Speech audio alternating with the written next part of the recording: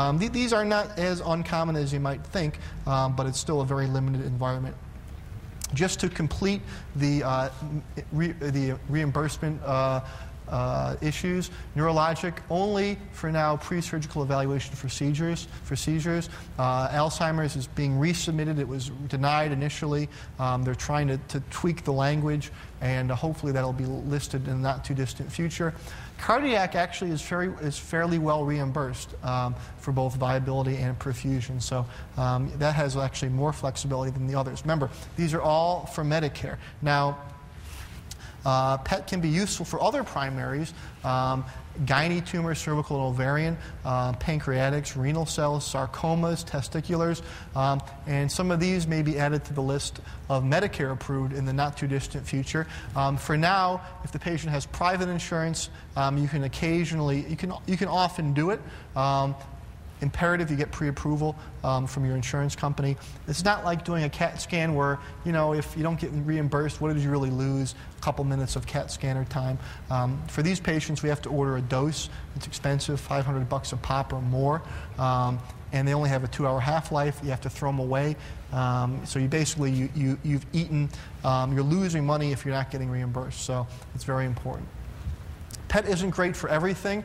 Um, probably one of the biggest disappointments with FDG PET is prostate cancer. As you know, these cancers are often lower grade, more indolent. More indolent. You die with prostate cancer, not from prostate cancer, um, and they're not often very FDG avid. Furthermore, you know these recurrences in the prostate bed are are obscured by normal bladder activity. So um, people are working on some other agents. Some of the C11 compounds, such as acetate and uh, choline, have lots of promise. There's, the thought is that they'll have an, an agent besides FDG for prostate staging, for PET restaging.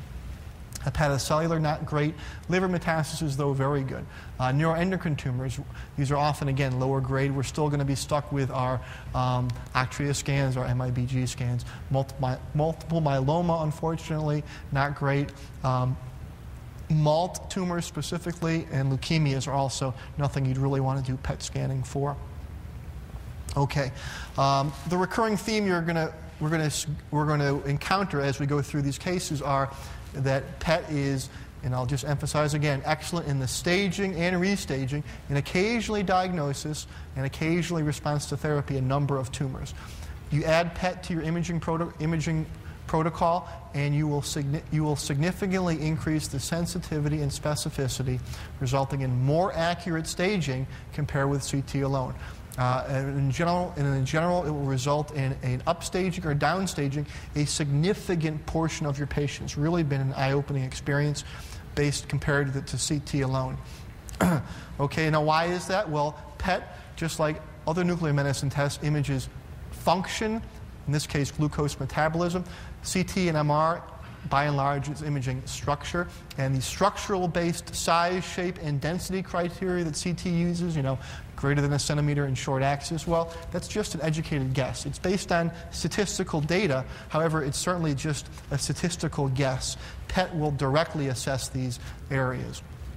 Another, another reason PET works so well is while it has poor resolution, it really has a higher contrast of tumor to background ratio. So the lesions just light up. They jump out at you. Whereas on CT, they can be hiding in, um, in loops of bowel or in part of the bone you didn't look at. Um, PET, you know, you're much less lesions that are just truly missed. Okay? A PET will upstage your lesion, your, your patients, because it'll find those little bits of tumor that were invisible, overlooked, or misinterpreted on CT. And it can downstage your patient. It can redefine as benign all or a portion of a structural abnormality which CT classified as malignant. So residual tissue is a scar that they thought was tumor, um, enlarged lymph node, which is just reactive but not malignant, uh, collapsed lung distal to an obstructing tumor, which they call chest wall involvement. Um, PET can tell you that nope, that's not tumor, that's all benign. So basically, PET finds more tumor, but yet more accurately, we'll find less tumor. We'll go through some numbers as we go along. This is one uh, nice example for breast cancer. A study from a couple of years ago looked at um, adding PET to the protocol and resulted in a change in clinical stage in over a third of the patients. Um, usually upstaged, but one out of four of these, or one out of three and a half, were actually downstage. And even if the, the stage didn't change, it resulted in a change in clinical management of half to two thirds of the patients um, by increasing the size or decreasing the size of the radiation port, for instance. Okay, so diagnosis, staging, restaging, response to therapy. Let's talk about diagnosis first. As I mentioned, the, early, the most common um, diagnostic use of PET is going to be for solitary pulmonary nodule, evaluate for malignancy, but it will also be used occasionally for guiding biopsy, the best place to put the needle uh, in the malignant part of the mass, uh, evaluating an unknown primary, um, and this happens not uh, uncommonly surprised, surprised primary. Uh, okay, solitary pulmonary nodule. Historically, um, how do you get at these? These coin lesions on CT, um, less than four centimeters. That's how they've been categorized.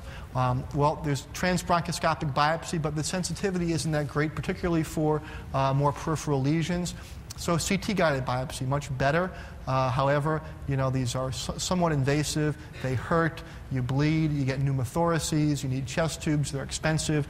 You can kill people. Uh, I've done it. Um, the uh, PET can be considered a metabolic biopsy. Um, similar sensitivity and specificity. It's not invasive and it saves many unnecessary surgeries. And probably this last region, reason is um, saves bucks, is why this became one of the very earliest Medicare approved indications because it saved the government lots of money. Okay, let me digress just for a second because when we talk about nodules and measurements, standardized uptake value comes into play. What is it? Um, it is a semi quantitative measurement like the Hounsfield units. Basically, you imagine the injected dose normalized to patient body weight, allowed for decay, distributes uniformly throughout the patient. And that's given an arbitrary value of 1. Just like water is given arbitrary value, the Hounsfield units of 0, the average uptake is considered to be 1. Therefore, any focal region um, that you draw a region of interest around can be expressed as a ratio of that increased or decreased to the average. And the common cutoff for malignancy is 2.5. Now, people kind of fall in love with these numbers and what's the SUV. I don't like the SUV all that much. Um, it's um, can be affected. It's not. It's not a perfect number. It's affected by the patient's weight, uh, the size of the lesion, partial volume effects, patient's blood sugar, uh, the time post injection to imaging of uptake. These will all alter your SUV. Um, and so, visually, and study after study will show that the visual impression um, is often as good, if not better, than SUV. In other words, if a focus is hotter than the blood pool, if it's hotter than blood pool, it is considered abnormally increased and therefore possibly malignant. If it's blood pool or less, it's benign. And I like that for most things. Now, one area where the SUV would be particularly useful is looking for response to therapy. And there, you'd want to see is the SUV decreasing. But you need to be careful that all these other parameters have stayed the same on the same patient. So here's our standard indeterminate solitary pulmonary nodule. It's a couple centimeters. It's not spiculated, but it's not really benignly calcified either. Um, basically, one, two, three, four, five. Is this a bronchogenic lung cancer or is this a benign granuloma? There are other things you need to know rheumatoid nodules, AVMs, solitary, solitary metastases, but by and large, is this lung cancer or is it a benign granuloma? And you can see this is the lesion, and it's hotter than blood pool. It's in the malignant range. Now you can calculate the SUV, 7.5, clearly in the malignant range. Um, this is cancer until proven otherwise, and it's hi- highly specifically, uh, almost certainly cancer. You need to get a, a tissue sample um, or just resect it. Now, in addition to doing a metabolic biopsy of this lesion, we've also staged the patient.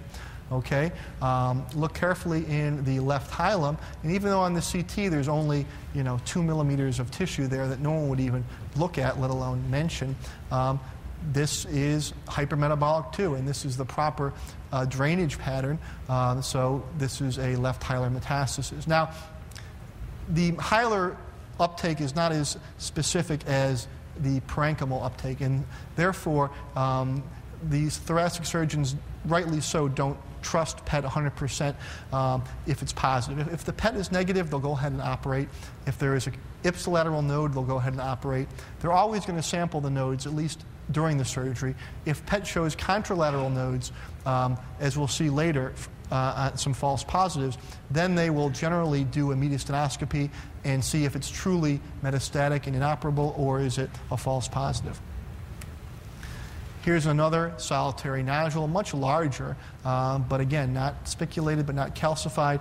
This is cancer, isn't it? In here, there's just some vague activity. It's no hotter than the blood pool. It's in the benign range. You can calculate the SUV. It's 2.0. Um, you don't have to biopsy this. Um, when a lesion gets to be much larger than this, or a little bit larger than this, then it's kind of all bets are off. But um, basically, a benign solitary pulmonary nodule by PET can be observed. I wouldn't forget about it 100% because you can have false negatives. Low grade tumors such as bronchioalveolar cancer, carcinoids can occasionally be false negative on PET. But you can now treat this as you would any other indeterminate lesion on CT, document two-year stability, and that's fine. You'll almost generally always be right. Um, if this was hot, you'd have to get tissue. Okay, um, this was a patient that came to us recently um, and has this ugly-looking left hilar mass. Um, patient uh, went to bronch. They went right to bronch before they even came to us, um, but the bronch came back. They biopsied, and it came back as benign. Well, they didn't like that patient has a pleural effusion, they had some weight loss, um, there was uh, a smoking history. So they came, to, they came to us and we got a PET scan. You can see this lesion is clearly hot, definitely in the malignant range. Well, um, let's look a little bit more carefully at it. There's something going on down here too. We'll come back to that. Okay? And uh, I went over the case with the, uh, the pulmonologist and I said, um, well, there's the mass, and there is the tumor, there is the FDG superimposed there. I said, by the way, did, what, what, part did you biopsy? They said, oh, we went to the upper lobe and we put the needle through there. So they, they actually biopsied this part of it. Well, this is not the malignant part of the tumor. Uh, this is either collapsed lung or reactive lymph node, but not malignant. I said, you know, get back in there and put the needle down there. And they did, and it's it was a lung cancer. Um, and so this is a case where PET can help guide the biopsy and make the diagnosis. Now, I also said, by the way, you probably want to put a finger up the rectum, and there's almost certainly going to be a rectal cancer there as well. So this is one of those rectal or colorectal surprises. This was another interesting case. Patient had these two kind of, it was better on the infused CT, but here on non-infused you can see these two mass-like regions in the right lung, um, one anterior, one, one posteriorly in a, in fusion. They simply tapped the effusion. It came back as equivocal, not definitely positive, um, and they really weren't sure what to make of it. Um, and they wanted to know, well, can we biopsy this or what should we do? Um, we got a PET scan. And you can see, well, that's hot. But again, it's the anterior portion which is hot. This thing was not. So tell them, put a needle in this thing. And this turned out to be mesothelioma. Um, now, I also told them this is the f- next day from that other case. Another example of my favorite dish uh, colon surprise. It happens. Uh, no one had picked up on the fact that uh, this patient had some blood in their rectum. They did afterwards, but I said, that's almost certainly going to be a colon cancer. And they scoped him, and it was. So, um, two primaries in this case, making the diagnosis on PET. Uh, this was a patient who had a history of ovarian cancer, had some adenopathy on physical exam in the pelvis, and they wanted to know the restaging. Well, you can see these nodes here, certainly malignant, uh, recurrent ovarian cancer. But look at the right breast. There's this focus very, very hot here, um, which in retrospect on CT, you could say, yeah, you know what, there is kind of a nodule there. I said, time for mammography and biopsy. I said, even if the mammogram was negative, I'd then go to an MRI. Because while this is not 100% specific for cancer, adenomas can occasionally be very hot.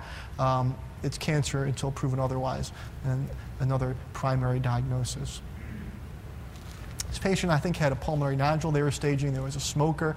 And the good news for this patient was that the lungs were clean. There was just a little granuloma. However, diagnosis of a right um, laryngeal cancer um, in the right vocal cord, which, uh, again, this is one of those surprises that happens. These patients tend to have, you know, I won't say bad genes, but their, their, their, their, their cells are more prone to cancer um, in a number of, uh, a number of ways.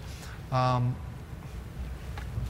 people, bring, people then ask the question, and you may be thinking, well, how small a lesion can I detect? Well, the answer is it depends. It depends on the location of the lesion, what its, neighbor, what its environment is, what its neighborhood is. If it's sitting in the lung surrounded by air, then it's easier to detect and easier to see increased activity. Uh, it depends on location, it depends on uptake.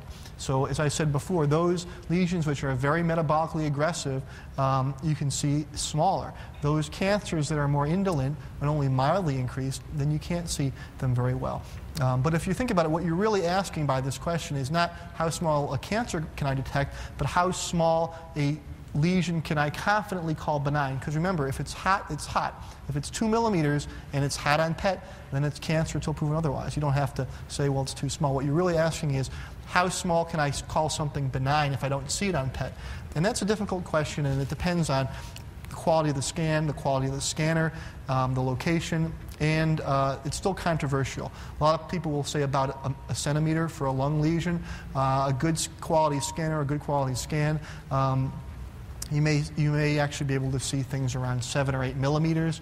Um, if it's cold, to say, okay, I'm confident that that's in the benign range. If it's smaller than that, though, five millimeters or less, I don't trust a negative PET um, because it just doesn't have that resolution. Although it's getting better. PET machines are, are getting more and more, uh, crystal size are getting smaller, resolution is increasing. Okay, Next area, and this is again probably the most common use of PET, and that is staging and restaging cancers. Um, we'll talk about different cancers, but um, some of the earliest work and one of the first approved indications was for lung cancer staging. Um, CT and MR uh, historically were perf- are performed really more CT, but um, how do they stage the mediastinum? Size criteria of a lymph node. If it's smaller than a centimeter, it's considered benign. If it's larger, it's considered malignant. Well, of course, you can have small metastases to a lymph node before it grows. And you can also have lymph nodes greater than a centimeter just be reactive. So, not surprisingly, you know, we, we go along dictating not pathologically enlarged, and really we're not right all that often. Uh, we're, not, we're not right as often as we think we are. What I found even more surprising, though, was that the specificity isn't even that great. So, a lymph node that's two or three centimeters is not always going to be malignant. So, you know, again, statistical guesses, PET will directly assess these areas, having a much higher sensitivity and specificity um, in the thorax um, and for distant metastases. How often do you see an adrenal lesion on a PET scan, or on a CT scan rather? Um, in lung cancer patients, adrenal adenoma versus metastases. So here's our paramediastinal bilobed lung cancer. Um, and CT, there's some schmutz at the right lung base. Is this volume averaging with the liver? Is this scarring? Is this atelectasis? Or is this intrapulmonary metastasis? Hard to really say with any confidence. How about further down? Right adrenal lesion. Is this an adenoma or is it a MET? Really could be easily either just based on the CT. Well, in PET, we don't have to wonder. Uh, here's our primary lesion. Um, here's the adrenal lesion. It's hot. If it's hot, it's almost certainly going to be a metastasis. And here, here it is here. How about that lung-based lesion? It's not volume averaging, it's not atelectasis, it's not scarring. That's an intrapulmonary metastasis. Here's whole body lymphoma evaluation. Look how easily you can evaluate lymphoma, neck, chest, abdomen, and pelvis. Um, you can imagine how easy it would be to follow up these patients instead of going through all the measurements one by one on CT. You can get a a very broad and rapid overview of the whole body. Um, this is Hodgkin's disease. Now, I point your attention to the supraclavicular region. The more PET I read, the more of a paranoid CT reader I am because I realize it's not all that amazing, although it's not bad. Um, but there's a couple particular blind spots, and one of them is the supraclavicular region. Um, you know, it's often the very first slice. You have beam hardening artifact, you have contrast from, from the contrast in the bone, you have muscle and vessel running through here. Um, very hard to, I find very often we are undercalling our supraclavicular lymph nodes. Another case of lymphoma and another blind spot is the portocaval region. We have uh, duodenum, papillary process of the liver, portal vessels, um, on other unopacified bowel. Another area which CT I find really undercalls tumor as opposed to the PET scan, where it just jumps out at you. Uh, another case of lymphoma on CT, the spleen was just enlarged but no focal lesion. Here you can see it's just packed with tumor in addition to tumor above the diaphragm. Melanoma, very well seen on PET. Uh, patient had a left thigh lesion. CT had some enlarged nodes on the left, five millimeter nodes on the right, not pathologically enlarged, and a nodule in the right lung. This Is a MET? This is a granuloma? Really hard to tell. Well, these left-sided nodes were obviously hot, but those five millimeter nodes on the right, those are also malignant, and this nodule is also a pulmonary metastasis. Thyroid cancer, um, talked about the limited indications. Um, here we have an I-131 scan um, with some recurrence in the neck and in the lungs. Ordinarily, we, we would have to stop here. This was for a study.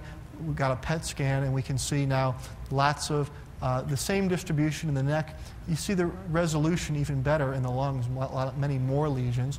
Didn't make a difference here, uh, although this could de-differentiate and become no longer I-131 avid. In that case, the PET scan would still be positive and would be very useful. Okay, uh, this is a case of another case of melanoma. Only thing on CT was this thing in the spleen. Are you going to call this definitely inoperable metastatic disease, or could this be some kind of a weird cyst? Well, on PET, it's a metastasis for sure. Um, that is male rotated as well.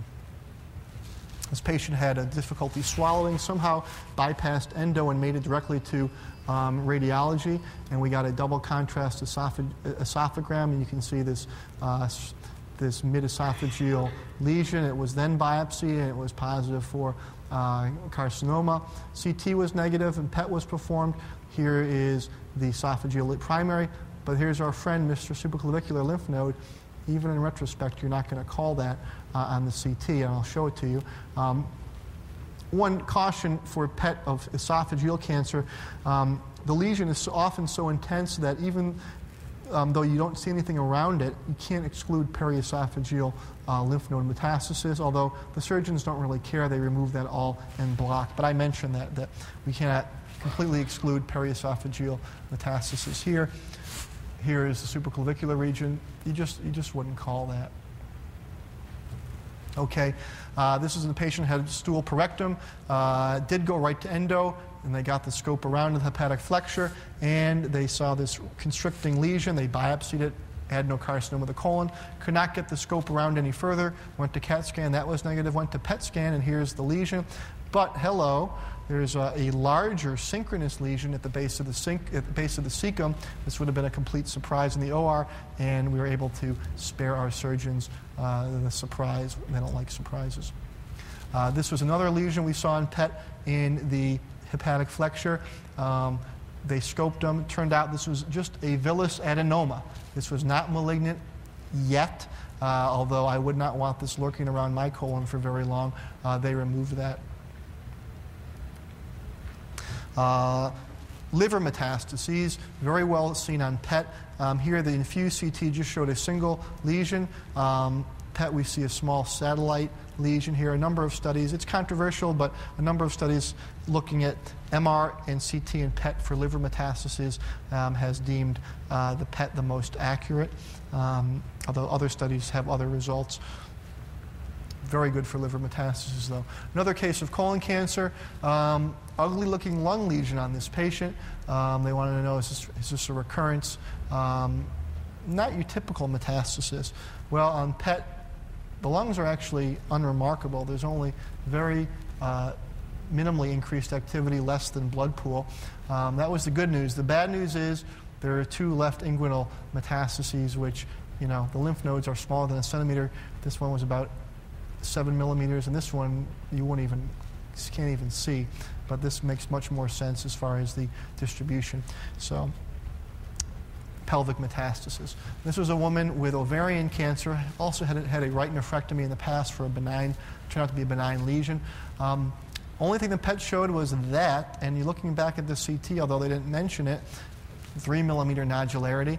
Um, this is almost certainly going to be a metastasis. Uh, very unusual, although conceivable for an adrenal adenoma to be hot, but really uh, it's almost certainly going to be uh, metastatic disease, which it was. Another patient with colon cancer, only thing on the CT was this. Uh, again, are you positive this is a MET? Do you want to give this patient incurable disease uh, because of this finding? It's not a simple cyst, but it's kind of doing a peripheral enhancing thing. Could it be hemangioma? Could it be a complex cyst or an FNH or something? Well, you don't have to worry. It's a metastasis, uh, not a simple cyst, not a cyst, and it's not a hemangioma. Uh, next couple of cases, uh, what I like to call the wow factor, and PET being such a powerful tool and all-encompassing um, as far as what you're imaging, is what structures you're imaging. Very, or not infrequently, um, the conventional workup concludes that there's really not much, if any, tumor at all, and the PET really shows you how wrong you were. Uh, this was a patient with breast cancer, right mastectomy, borderline right hilar lymph node, um, and this tiny left axillary lymph node. However, this is one of the wow factor. That's certainly cancer, so is that, but everywhere else too, uh, there's cancer. A lot of it's in the bones um, in this patient, but the PET just kind of, it's like you're not expecting to see very much based on what you have so far, and it's like a wow. Uh, this was another case of that cervical cancer. Cervical cancer, uh, conventional imaging was essentially unremarkable, um, and it's just like, wow, tumor everywhere. This was a woman that had a mastectomy on the right um, for breast cancer with an implant placed for reconstruction. Um, initial PET scan looked nice, nothing abnormal. Had some rising tumor markers and some right breast pain or back in there. Um, mammogram and CT were negative. PET scan, there is this definite, uh, question, definite increased metabolism near the chest wall. It's called a likely recurrence. Uh, they tried biopsying that even. Uh, they weren't really sure what they were biopsying. It was kind of relatively blind. They didn't get anything. Um, six months later, now even more increased metabolism back there. Finally, we were able to get proof uh, biopsy of chest wall recurrence. Um, as you know, post surgery and post implants, uh, mammograms are almost useless, um, and CT can be uh, very, very hard to see anything as well. PET has no problems looking right through that area. Another patient with breast cancer, um, and you can see uh, she had rising tumor markers and some low back pain. Um, bone scan is negative, uh, a little degenerative change here, but I will bring your attention to the right iliac wing. Um, even in retrospect, there's nothing there. Okay, um, the PET scan decent sized lesion in that left iliac, I'm sorry, I meant left, left iliac wing, um, decent sized lesion. And um, you look back on the CT and you know, there it is. This was read by a very good abdominal imager um, at uh. And uh, again, the contrast of PET, you're not going to miss things. They, they jump out at you, whereas CT, you have a stack of films to go through. We don't do a good job looking at the bones. Things are hiding in there. The contrast, the the signal to noise, the signal to background of tumor to background is markedly increased. You're just not going to miss these kinds of things on PET. Patient had uh, also breast cancer. Um, nodule here, is it a metastasis? Got a PET scan. And that nodule was cold. That was just a benign granuloma. However, there was this linear activity in the right transverse process where if you stare right there and you window it just right, you can say, yeah, you know what, I, get, I bet you there is a, uh, it looks like there is a lytic lesion there, prove it on the MRI. So we don't do a great job on the bones on the CT, and more often than not, um, you'll be able to look back in retrospect and see something subtle when you know right where to look. Um, this was that same patient, the bone scan. This is a lytic lesion in the right transverse process. It's just not eliciting an osteoblastic response. It's a lytic lesion. So that often brings up the question well, then, you know, PET's so great for everything, do I still need to do a bone scan? Well, the answer is that PET and bone, the FDG PET and bone scan are really complementary. Remember, PET images the lesion itself. Therefore, for lytic and marrow lesions, it's going to be better. Bone scan will image the bony remodeling around the lesion, so it's better for your blastic lesions, your more indolent lesions. Um, and remember, PET has a more limited survey too. It's only the axial skeleton by and large. If you had an isolated mid femur lesion, well, um, you'd miss it on a PET scan because you just wouldn't image it. Here's a woman with breast cancer, and you can see a lytic lesion in the mid uh, thoracic spine, which is hot. Very same patient, a blastic lesion in the sternum, which is cold. You know, this would be, this would be hot on bone scan. So um, shows how um, PET and bone scanning can be worked complementary. Okay, uh, we talked about diagnosis. We talked about staging now and restaging, and now how about response to therapy? Well, um, it's nice to know if your therapy, your chemotherapy is working. How do we assess that historically? CT again, change in lesion size. You watch, we want something to shrink or you want it to disappear. Well, um, lesion size changes takes a while, weeks to months, and you know you get six, six or eight or 12 weeks of chemotherapy, and a patient loses their hair and they're vomiting and they're sick, and then you realize, you know what, it wasn't even working. Well, PET looks for a change in lesion metabolism, and this occurs much quicker on the order of days or just a couple weeks for effective therapy. You look for a decrease in FDG activity, and this is one of the cases, as I mentioned earlier, where SUV is important, um, not just visual, because it, it's hard to, to, tell. It's, it's, it's hard to tell visually what you can actually quantify uh, with a number. I'll mention this topic because it's kind of interesting and um, may have heard about it. That's the metabolic flare. Um, those patients with breast cancer that are um, estrogen receptor positive, that you, or apparently so, that you want to treat with tamoxifen, they've noticed that if you give tamoxifen and it's going to be an effective therapy, you'll see this quote metabolic flare, just like the bone scan flare, um, in that the partial agonist effect of the tamoxifen initially predominates. It kind of feeds the tumor for the first couple days or a week. So those tumors that are going to be effectively treated with tamoxifen will actually, you can tell by after a week, they get more metabolically active, and then eventually the estrogen blocking effect predominates and they become underactive. If they don't become, if they don't flare up though, tamoxifen is likely not going to be effective. You can also assess the um, estrogen receptor directly with F18 estradiol. Um, it's a labeled estrogen analog. Here's a woman with breast cancer, primary lesion, axillary supraclavicular, metastases, and pre-treatment and then into therapy. You can see everything disappear. Um, even if these lymph nodes are still there, they're not metabolically active. You can tell that very, very quickly. Effective therapy. This was a patient with colon cancer. Uh, during therapy, uh, early before therapy, during therapy, um, and you can see everything's disappeared. Um, now, with one exception, and that is here. This liver is always going to look ugly on CT. It's hard to be able, it's hard to impossible on CT to tell what is normal and what is what is just scarring and what is active tumor. Here we can see, while there's been a near complete response, there's still active tumor there. Look what's happened to the bone marrow. These patients get chemotherapy, they become neutropenic. Their marrow, work, their marrow works harder. Sometimes they're given uh, Neupogen and other uh, marrow stimulating agents, and the marrow looks like that. It just becomes more metabolically active. This is a patient, uh, they thought uh, based on CT everything was resolved. Very vague activity left retrosternally, and you can see that there's very hot, persistent disease there.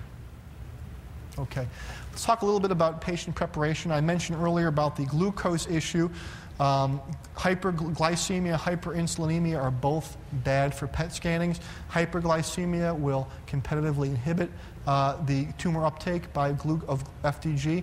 Um, hyperinsulinemia will drive FDG and um, the uh, FDG and glucose into peripheral muscle. So tumor uptake is reduced in both these states. Um, again, patient fasting for at least four hours.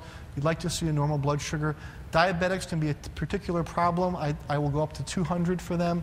Um, Sometimes they're really brittle. You give them a very short acting insulin in the morning with a little bit of a meal, bring them back a few hours later, um, and you can hope to get by. Some brittle diabetics you plain old just can't image. This was a patient that came for, I think it was cervical cancer staging, and hopefully by now you can see that the distribution of the radiotracer is very unusual. Um, it's all in the peripheral muscles, nothing centrally. Um, now I'll bring your attention to the right hilum and the left hip and the psoas region. They're all negative on this scan. Um, well, we blood sugar of this patient was normal. It was like a 150 or something. Um, asked them, however, did you eat? And they didn't realize that an Egg McMuffin with bacon and cheese counted as breakfast. And what we're seeing here, even though their blood sugar was normal, is the hyperinsulinemic effect driving everything out of tumor and into the peripheral muscle. You bring them back more appropriately, fasting two days later, and you can see hip, psoas, hilum, tumor that was invisible beforehand. Very important patient preparation. This, that's the hyperinsulinemic, hyperinsulinemic effect. This was a younger gentleman with restaging for their lymphoma. And so the only thing we saw was this very faint focus in the supraclavicular region. Uh, glanced down at his prep sheet. Sugar was about 220. Um, really should not have scanned them. I think they were out of town and they really wanted to get this done um, going out of town.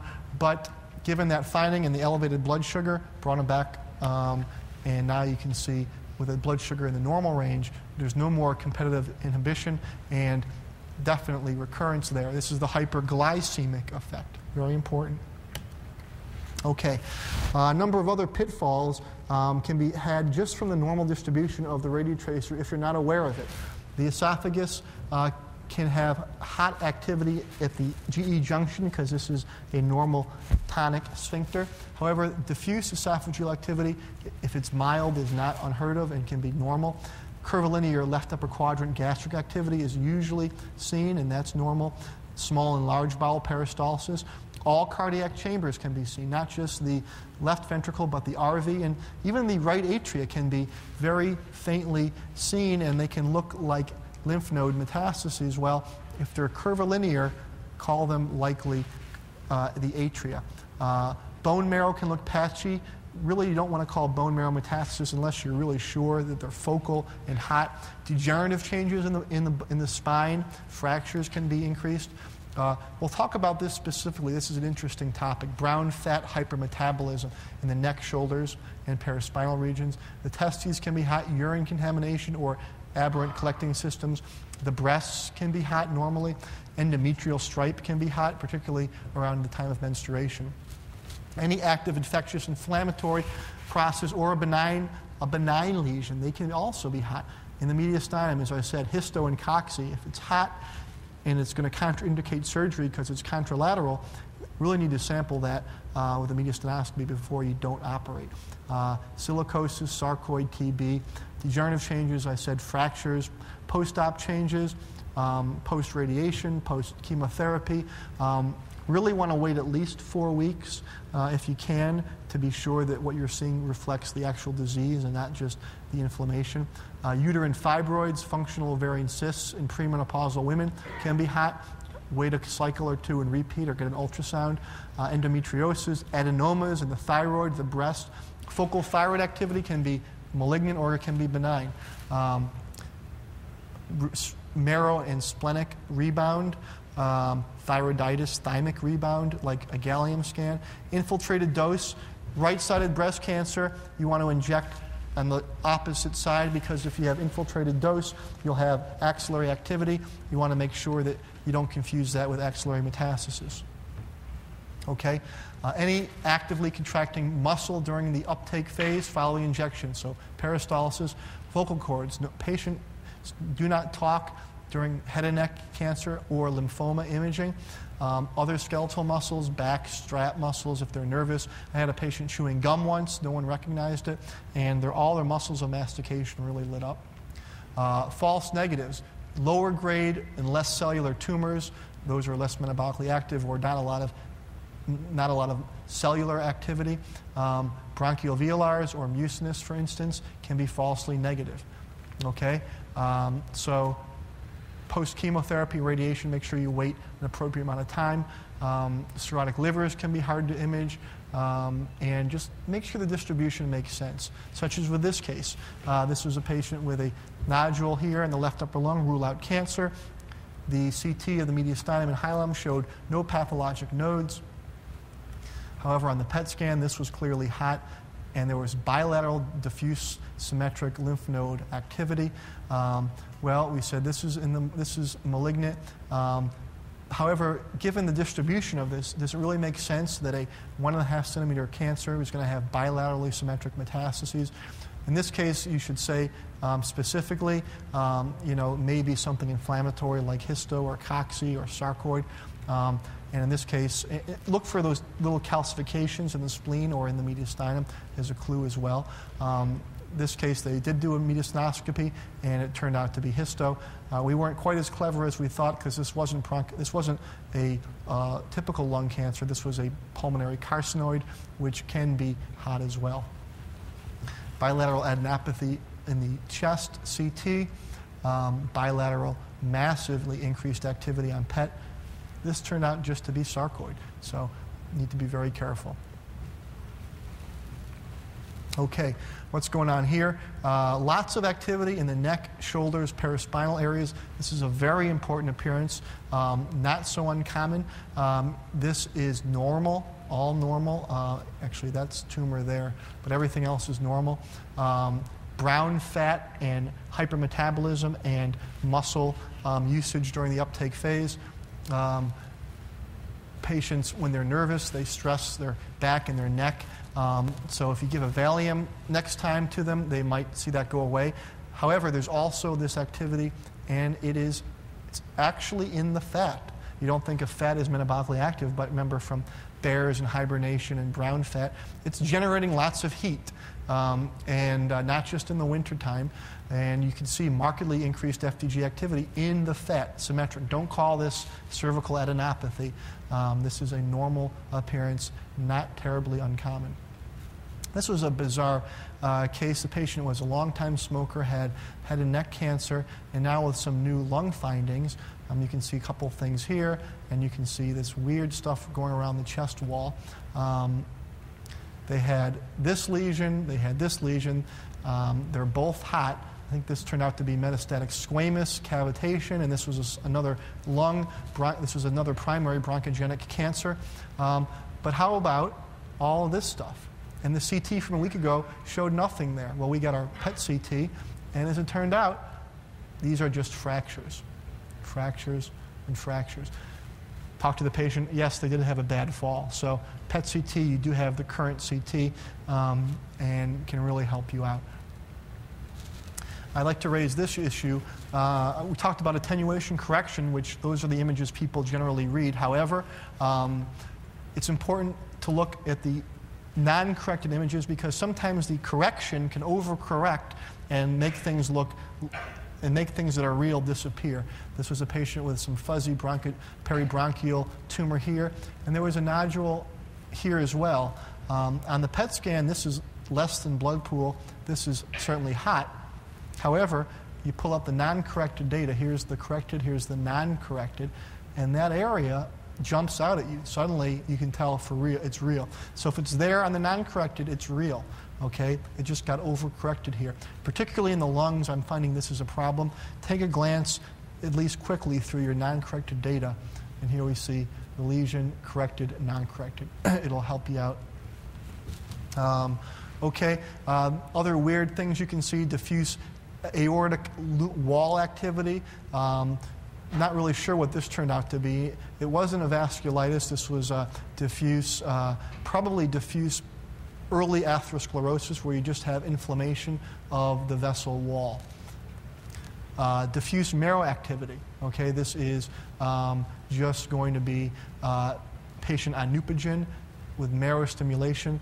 You want them off it for at least a week. Otherwise, you'll get this appearance and you won't be able to find any bone metastases because they're all hidden in there. Okay. Uh, just the last couple minutes, I'd like to. Um, people are a lot of times clinicians wonder what the CT part of the PET CT is for. Well, remember, the CT can provide the attenuation correction, although you don't need it to do that. Um, but when you do, it's much faster than standalone PET. Um, fusion is uh, allows a more precise localization of lesions than standalone PET. Um, it's, not, it's often not used in diagnostic quality mode.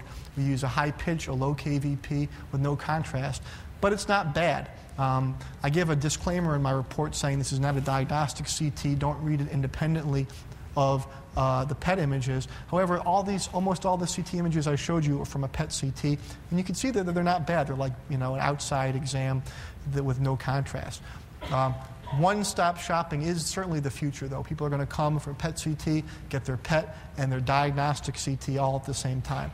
So, what does PET CT do for you? I used to be a little reluctant and downplayed the advantages because I, I, I grew up reading pure PET and um, as a radiologist as well as nuclear medicine physician, I was able to, I thought I had a great handle of the anatomy cross-sectionally on PET.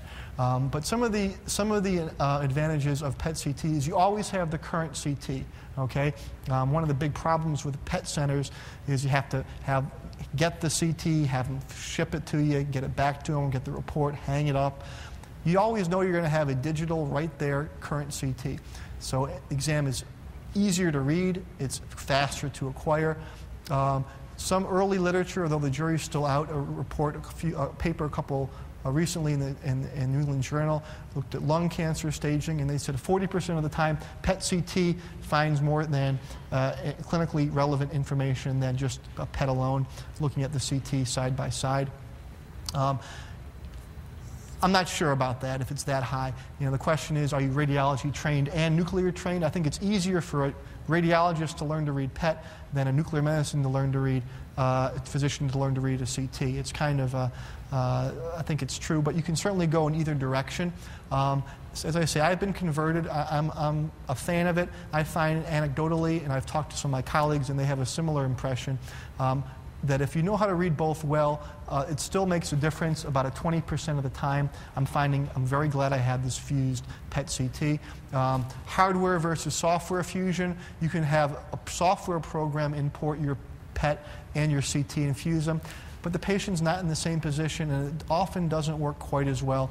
I still, I, have become a believer, I must admit, uh, that it does make a difference to some extent, hardware fusion. So, in summary, um, talking about whole body oncologically, PET will more accurately identify metastases from most tumors, altering stage and clinical management. Um, PET will more accurately, more accurately assess response to therapy, either after completion or during treatment, um, and can be useful on occasion um, for identifying malignancy, making the diagnosis, particularly with solitary pulmonary nodules, guiding biopsies. When do you order PET? Whenever the management will be changed by additional information after the conventional workup. And I think PET is still underutilized. I think people um, would have more accurate staging and better patient management if they would use PET more routinely. Of course, I'm biased. So we've covered basic physics as biology, some imaging protocols, clinical uses, briefly cardiac. Again, depends how the economics plays out. Uh, it's a good tool, but MRI is also coming on strong. Uh, neurologic, we spent some more time on, um, where Alzheimer's has a big potential to play, um, should it be approved whole body oncologic uses um, was the majority of our time.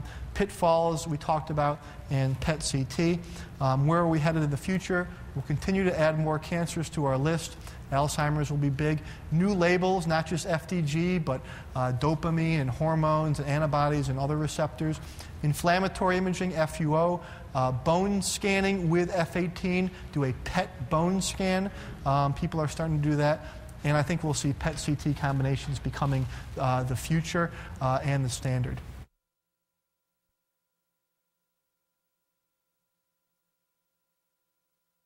We're going to cover a bunch of topics starting from the top of the head, so from eyes to thighs, as it were, starting with a few artifacts that you need to be aware of. Why? Because if you don't know your artifacts, you're going to overcall or undercall lesions. For example, let's look at one of the commonest artifacts.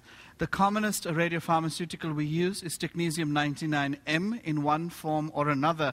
If you have free pertechnetate in any part of the body, then you must be aware of where it accumulates, typically anywhere in the blood pool and it is excreted in the major and minor salivary glands as well as by the gastric epithelium. Be aware of this normal biodistribution of free pertechnetate because you are apt to call overcall causes of active GI bleeding if you don't know what's going on.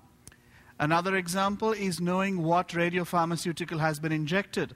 If instead of injecting a bone avid agent, you inject a glomerular filtering agent, then you're going to get a kidney scan instead of a bone scan. This does not mean this is an abnormal bone scan. This means this is a normal kidney scan. So please be aware of the agent that has been injected.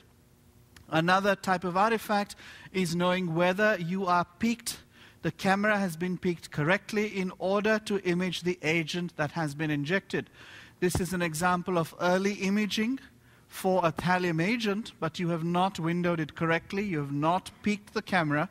However, during delayed images, you can see that there is indeed good signal to noise ratio and left and right ventricular uptake because the technologist has determined that the correct peak has been set up in the interim. Remember your quality control measures at the beginning of the day, week, or month, and these have different frequencies as outlined in your syllabus. It's a first appendix. If you do not have a uniform flood field, this is a uniform flood field, this is a heterogeneous or non-uniform flood field, you are going to get various types of filling defects or photopenic areas. Not all of these are discrete, and they may indeed mimic a parenchymal lesion, causing replacement of that flood field. The phantoms are in different types and shapes, and these will assess resolution, linear resolution, as well as three dimensional resolution, depending on the type of phantom. That having been said, we're going to start by looking at the head and neck. Now, we've discussed thyroid imaging, so we're not going to cover that in any great detail today. The remainder of the head and neck has to do with cerebral perfusion and dementia, ventricular shunt function evaluation, ventricular reflux studies, a little bit about head and neck cancer, which we spoke of already yesterday, and don't forget the parathyroid adenoma, for which nuclear medicine is an unbelievably accurate study. When you want to study cerebral perfusion, what you are doing is assessing the angiographic phase. So we're not studying all of cerebral perfusion, we're only assessing the early arterial phase of cerebral perfusion. You want to look at the trident of Willis and you want to see antegrade flow in the anterior circulation. It's a very simple thing to do. You want to look for cortical activity to look for significant defects or hypoperfused segments, but that is not the purpose of the study. The only thing you're trying to support is the clinical diagnosis of brain death. This is not diagnostic of, but helps the neurologist determine additional objective evidence for clinical brain death, typically before disconnecting somebody from a ventilator, typically before harvesting young organs immediately after death. You want to disregard dural venous activity because there is contamination from venous structures as well as the posterior circulation. You want to disregard scalp activity because this has contributions from the external carotid arterial supply, which means this has nothing to do with the clinical criteria for brain death. You have to have an intact internal carotid arterial circulation in order to diagnose the presence or absence of arrested cerebral perfusion. If ever in doubt, these two areas are things that people uh, lack confidence in calling. If you're in doubt, you see dural venous or scalp activity, something you can do very easily is repeat the study within 24 hours. You're rid of those additional activities and you're confident in your diagnosis of arrested cerebral perfusion. Remember, active cerebral perfusion, you're going to see the origins of the great vessels. You're going to see internal carotid flow ascending up to the level of the skull base. You see the trident of the circle of Willis. This has to be seen instantly. Always try and review this on the monitor because it's a cinematic display. The static images do it no justice at all. If you do not see activity entering the skull base and the circle of Willis, but you do see some degree of scalp or dural venous activity, this is arrested cerebral perfusion. Remember, you are not responsible for the diagnosis or the absence of diagnosis of brain death. That is a clinical diagnosis. All we're telling the neurologist is whether or not there is arrested cerebral perfusion. Why is this important? If you take a large volume of persons who are clinically brain dead, almost all of them are going to have arrested cerebral perfusion. Why almost all and not every one of them is a question we're often asked. That is because of technical factors. If you do not use specific technical criteria, if you're not looking for the trident of Willis, if you don't have cinematic displays, if you don't image early enough, you are going to overcall or undercall the presence of arrested cerebral perfusion. If you're clinically brain dead, and that is an accurate clinical diagnosis using certain very specific criteria, you are going to have 100% of arrested cerebral perfusion. So, if you used experienced neurosurgical or neurological criteria, these are the criteria for brainstem death. All of these persisting for a period of six hours or more none of them will recover. This says 100% accuracy, and all of them are going to have arrested cerebral perfusion. If you carry on imaging, this is not required, but if you wish, you can carry on imaging beyond the angiographic phase to the extracellular phase. In the extracellular phase, you do not see significant cortical activity. This may help you if you have difficulty deciding whether activity you see is in the scalp, in the dural venous sinus, or indeed within the cortex itself you do not see any cortical activity, but you do see significant nasopharyngeal activity. This is called any combination of the hot nose. Remember, the nasopharynx is highly vascular and supplied by branches of the external carotid artery and the empty head sign because you do not see any significant cortical activity. You do see some scalp activity and some dural venous sinus activity. Again, no evidence of cerebral perfusion. All you see are empty head signs. Why is it important if, as I have presented to you, every time you have an accurate neurosurgical diagnosis of brain death, why is it necessary to get this additional study? This is because you want to give additional objective evidence before disconnecting patients. More importantly, for harvesting purposes, the longer you keep the patients on a ventilator, on life support measures, the more expensive it's going to be. These objective criteria also help friends and family come to terms with the potential of being a harvested organ donor. So it has to do with psychological as well as fiscal responsibility. One of the pitfalls is the presence of persistent cerebellar perfusion.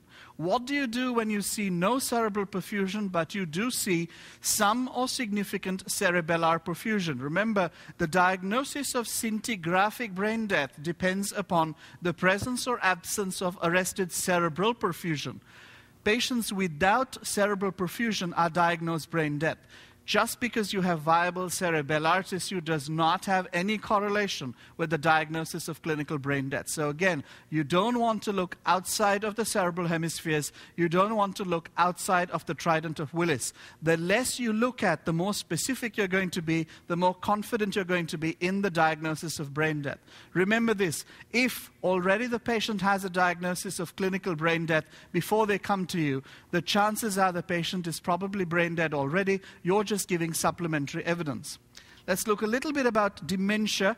There are typically three types of major dementia dementia of multiple infarctions, which is the commonest, dementia of Alzheimer type, which is more common in women, and dementia of the Pick type, which is more common in men. There is a laundry list of other dementias which are much rarer when we take the sum of these three types of dementia together. Conventionally, the diagnosis of dementia is made by looking at the degree of parenchymal volume loss or atrophy on a CT or an MRI using either qualitative or quantitative criteria.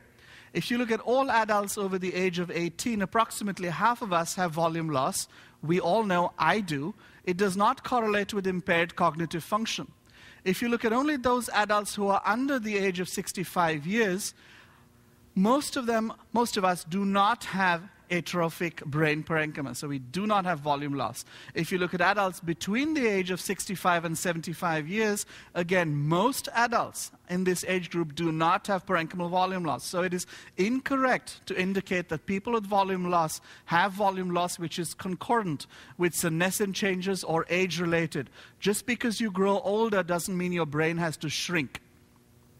The older you get, the more likely you are to get parenchymal volume loss, but it is not invariable. In this age group of patients between 75 and 85 years, I examined them over a 10 year period, and you can see that more patients did not have volume loss compared to those people who did have volume loss. But remember, as you grow older, the incidence of dementia, especially dementia of Alzheimer's and Pick's type, increase. Also, as you grow older, you're more likely to have smaller infarctions and hence dementia of multiple infarctions. However, if you're older than 85 years of age, you are more likely, 81% of you are more likely to have parenchymal volume loss than no atrophy at all, which is paradoxical because if you have reached the age of 85 without a diagnosis of Alzheimer's dementia, you will not get Alzheimer's dementia. Bottom line, the presence or absence of parenchymal volume loss on a CT study or an MR study correlates not at all with the diagnosis of dementia, which means we need other objective criteria. What can we do? We can do low resolution SPECT scanning, which is using any kind of cerebral perfusion agent and looking at the functional phase, or use PET scanning, as Dr. Appelbaum has briefly alluded to. However, why is PET scanning not approved for the diagnosis of dementia? By the time cognitive impairment has been diagnosed in somebody with any type of dementia, it is too late to treat them. Therefore, the diagnosis is not going to alter patient outcome. It is not going to change the natural history of the dementia. Once diagnosed, it is an irreversible phenomenon at the cellular and microscopic level, and so there's not much to be done about it. However, if you diagnose it correctly, if you diagnose dementia of Alzheimer's type correctly, using various patterns of hypoperfusion and hypometabolic changes using a PET scan, then you can avert a large amount of cost which is incurred in other studies trying to find the cause of the dementia. Again, the patterns of dementia correlate with the type of dementia, which may be either non progressive or progressive. Again, there's a problem over here there is a significant fraction of people with non progressive dementia who have normal PET scans. So, even a normal PET scan does not rule in or rule out the diagnosis of dementia. Hence, right now, we don't have very much to help us with the diagnosis of dementia. We do know that if the PET scan diagnoses Alzheimer's dementia efficiently and quickly, in those cases, if you've got a good positive predictor of a test, then you're going to save millions of dollars. What is more important? Clinical probability. If you know clinically that the patient has either probable or possible dementia, then your chances of diagnosing it, the sensitivity and specificity, are both much more superior to the FDG PET examination. So I do not believe that in the near foreseeable future, PET will ever achieve approval from CMS for diagnosis of Alzheimer's dementia. Ventricular studies are commonly done in association with neurosurgery, and these are typically done for two reasons. One is to look for ventricular reflux. Ventricular reflux is one of those functional indicators of responsive normal pressure hydrocephalus. This means that if you have normal pressure hydrocephalus diagnosed by anatomic studies and clinical findings, and you demonstrate ventricular reflux in these patients, up to three quarters of them will respond, only their gait abnormality will respond to shunting. So again, it's a very, very specific item, and you've got to know that this is very limited indication. How do you perform this test? You inject DTPA, indium 111, into the lumbar subarachnoid space. Remember, you've got to charge for your subarachnoid injection, and then you want to image them at the early phase and then two days later for the delayed imaging. In the early imaging, all you're trying to determine is whether or not you have indeed injected in the subarachnoid space and there is no stasis in the epidural phase. Uh, epidural space if you are sure that you have injected into subarachnoid space, which means you've collected CSF for sampling or just to determine that you are indeed in the correct location, there is absolutely no need to get your early phase images. However, as a protocol, it's just better to have the early phase images. The delayed phase is carried out on day two, which is 48 hours after the injection of, of uh, radiopharmaceutical in the lumbar subarachnoid space. If I see ventricular reflux, that is stasis within the ventricular system itself, then I know that there is ventricular reflux. These patients, if shunted, will show response in their gait abnormality only. They will not have improved cognitive impairment. So it's a very limited study. Ventricular shunt patency, on the other hand, it's a different type of study. Here are children or adults who have ventricular shunt catheters. We typically get an anatomic shunt tubing study, which is a lateral and frontal long exposure to look for anatomic discontinuities in shunt tubing. Be aware that segments of shunt tubing or revised or extensor ports, as well as the reservoir themselves, may be radiolucent. The newer shunt tubings have entirely radiopaque shunt tubings with little dots along their surface so you can determine whether or not there is anatomic discontinuity.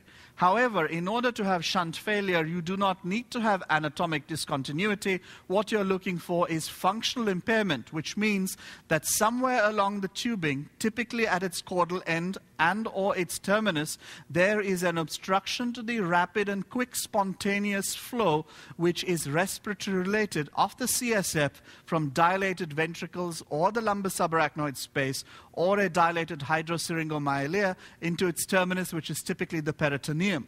What you do is you want to inject DTPA into the reservoir, which is typically done by the neurosurgical nurse, and you want to assess activity along the tubing over time. Remember, in the normal state, every time the person breathes, fluid is going to be transmitted into the peritoneal cavity. So there is really no need to get delayed images. As soon as you inject into the reservoir fluid, which is now filled with radiopharmaceutical, is going to immediately get propelled along the shunt tubing into the peritoneal space, and you get a peritoneographic effect, which looks very similar to contrast that leaks out to fallopian tubes and outlines bowel loops. So if you get a peritoneographic effect within minutes, you don't have to wait for even 20 minutes to get this kind of effect. You know that the shunt is unobstructed. However, if you have stasis within the tube, the reservoir itself, or if you have backflow or ventricular reflux, in these cases, you know that there is some kind of functional obstruction or defect in the shunt tubing itself. So, this is an obstructed ventricular shunt which needs neurosurgical treatment. Looking at head and neck cancer, which we have yesterday, we know that FDG PET is much more sensitive and specific when compared with only clinical examination. But always remember to get a CT study because it is equivalent to CT. And if you have a negative CT study, if you don't have foci of nodal enlargement, fibrosis, scarring, or post surgical change, then there is really no need to get a PET scan. The negative predictive value of CT is very high, the positive predictive value of FDG PET is very high as well. So you might want to combine CT and PET to see where these bright areas, hypermetabolic areas, on PET are when you compare them to a contemporaneous CT. This is again the most excellent argument for having a PET CT scan. Why do you want to buy a new PET scanner if you could be buying a PET CT scanner instead? Remember, at the current time, all evidence is anecdotal. There is no significant published literature that tells you that a PET CT scanner is of any greater utility than a PET scanner itself or PET CT fusion overlay. It's just market driven because my neighbor has a PET CT scanner. I want to buy three of them. Uh, another area that we've got to be aware of, as we've discussed yesterday, is artifacts in head and neck imaging using FDG the longissimus muscles are going to show significant hypermetabolic activity because during the uptake phase, patients are moving their heads around, they're adjusting themselves. The paraspinous muscles are going to show activity because you're going to adjust your head in the gurney or in the resting phase. The supraclavicular muscles are going to show uptake. The trapezius and scaleni muscles will show uptake. Some activity may be seen within the esophagus because it is excreted by salivary glands, activity is seen in the larynx as well as the thyroid gland. Remember, significant thyroid hyperactivity is seen more commonly in women than in men, and therefore you do not want to do an FDG PET scan for thyroid cancer unless you know that there has been prior surgical or radiochemical ablation of the thyroid parenchyma. Significant thyroid activity is the rule. It does not mean you have thyroiditis or a thyroid cancer. It is just one of those artifacts. It is part of the normal biodistribution. The more you talk, the more uptake you're going to get in the area of the laryngeal muscles. You can get idiopathic activity with stasis of fluid within vallecular sinuses in the laryngeal apparatus as well. Thyroid imaging, we've covered this before. Sonography is used to guide biopsy. The role for nuclear medicine is either in the diagnosis and treatment of thyroid hyperfunction or thyroid cancer. FDG PET right now is not fully CMS approved. It is only approved in those patients who've had their entire thyroid gland previously removed the histology was follicular in nature. They have an elevated serum thyroglobulin level. I have to correct myself. Uh, there was a typographic error in the slide. The level of the thyroglobulin should be more than 10 nanograms per cc and not milligrams. Uh, it is correctly stated in your syllabus. And of course, you have to have this preceded by a negative whole body I-131 scan. So very, very limited indication for FDG PET in thyroid cancer. Non-FDG PET agents are currently a work in progress. How do you evaluate someone who has an indeterminate fine needle aspiration? Look at the uptake and scan. If the uptake and scan shows increased activity, depending on whether or not the patient is thyrotoxic or euthyroid, you may or may not choose to treat them with lower doses of iodine 131, typically in the 25 to 50 millicurie range. If you have known thyroid cancer, elevated thyroglobulin, and you know the histology, depending upon the histology, you want to start with a whole body scan. If it's non medullary, an I 131 scan. If it's medullary, an indium 111 scan. Only if these are negative, you would consider an FDG PET examination, remembering it's only approved for follicular histologies at the current time. Parathyroid studies are used in the determination of recurrent or residual hyperfunctioning parathyroid adenomas in the presence of idiopathic hypercalcemia. It is also used in patients who are high risk for surgery during the initial surgery or if there is life threatening hypercalcemia. Always remember these washout MIBI studies. You do initial imaging at 20 minutes after injection and delayed imaging at two hours after injection. Very easy to look for foci that are persistent and do not wash out two hours after the study has been initiated. Always add an intraoperative gamma probe. This is a functional study or doing counting. You don't have images in the operating theater. Addition of this is equivalent to the complementary use of CT, MR, or sonography to your initial sestamibi washout scan. Nodules, brighter, and they stay that way two hours after injection of MIBI.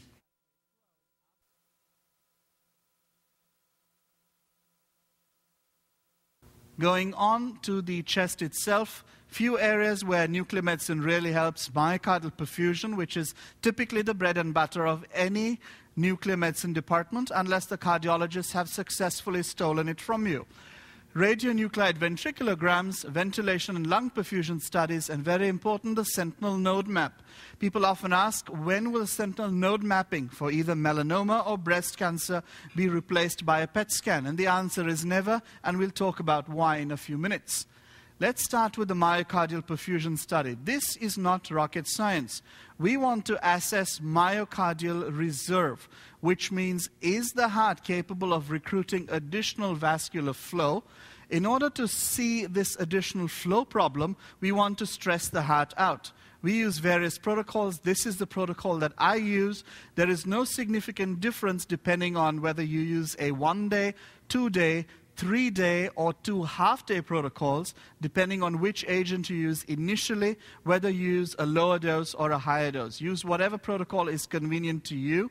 We don't like to, to delay too much, so we do everything in one day. It's a one half day setting. We use a combination of radio tracers, thallium 201 chloride initially, and technetium 99M MIBI later. Uh, what you're assessing for is relative vascular flow reserve, so you've got to know approximate distribution of coronary arterial flow within the left ventricle. Remember, if the myocardium is perfect in uh, capacity and reserve, it is able to dilate to an adequate degree, and therefore it can recruit blood flow from neighboring regions and perfuse a larger volume of functioning muscle when stressed. If it is not able to mount this reserve, this area is visualized by you as a defect in perfusion. So, if you've got a defect in perfusion, which is worse during stress than at rest, then this means there is likely ischemia. However, if you have a defect that shows no change whatsoever, it is an area of scarring. What you want to look for is any area of reversible segmental hypoperfusion. That's the entire crux of the story of coronary imaging you've got to have a significant mismatch, which is more than 50% of a mismatch, in order to have significant relative flow disturbances. So sometimes you're going to miss a lesion on myocardial perfusion studies, but there's going to be significant coronary compromise on a coronary angiogram. And that's because you haven't achieved that threshold which is required to determine relative flow reserve disturbances. Myocardial perfusion imaging can correlate somewhat with the coronary artery itself that is responsible for perfusing that area of the left ventricle. But there are so many anomalies in arterial anatomy that it is not worth trying to predict which artery is going to show significant stenosis. Uh, what is going to happen in the future? It's probably going to be replaced by some positron emitters. Unlike uh, which can be dispatched to you via FedEx, for rubidium, you need to have it either in the coach or in house. You've got to have a generator that can dispose of this immediately. So various agents are used. Typically, you want to fast someone for four hours. Uh, stress is typically carried out under the supervision of cardiology, so they can ensure that these patients have been stable for at least a period of 48 hours. If they are unable to uh, undergo standard exercise stress protocols, you can chemically stress them. Chemical stress can either be performed using vasodilators or positive ino or chronotropic agents. Again, no significant difference between these. However, the most important thing you've got to remember is the degree of stress that the heart has to undergo. If the patient does not achieve a minimum of 85% heart risk, which means you've got a target heart rate. The target heart rate is determined by the patient's stated age. If you do not achieve your 85% of your target heart rate during your exercise, you need to stop the exercise and administer one of these chemical compounds. If you do not do that, since you haven't achieved the threshold, the study is going to be not sensitive enough in the detection of fall of myocardial reserve. That is very, very important. You need a combination of planar and SPECT imaging. Typically, you want to do it in a comfortable position, whether it's supine or left lateral. If you're using a multiple headed SPECT camera, it doesn't make much of a difference. We always image our patients with and without attenuation correction using a gadolinium correction source. This is important because there are certain artifacts that you have to be familiar with. For example, the diaphragm is going to show up as some hypoperfused areas in men the anteroseptal region is going to show up as hypoperfused areas more commonly in women. If prominent pectoral muscles or prominent breast tissue is seen anteriorly, you're going to get anterior attenuation artifacts. Be aware that these can be corrected by attenuation correction software, which is universally available. Also, be aware you want to review the attenuation corrected images only, and this is very important, if you suspect that there is an attenuation related artifact on your pre corrected images. This software is so good that sometimes it tends to overcorrect artifacts. So it'll create artifacts or it'll create falsely negative results where there are none. So get your attenuation corrected images, but don't look at them unless you think you need to look at them in every case. Increasing lung uptake and left ventricular cavitary dilation. These are areas of diminished cardiac reserve. Remember, increasing uptake in the right ventricle should be at least as bright, if not brighter, than the left ventricle. The left ventricular dilation is a gestalt a thing. You just have to look at it and know whether or not the left ventricle is large enough. Some of the newer softwares are going to actually compute this for you, and you can give a quantitative measurement of transient apparent left ventricular cavitary dilation.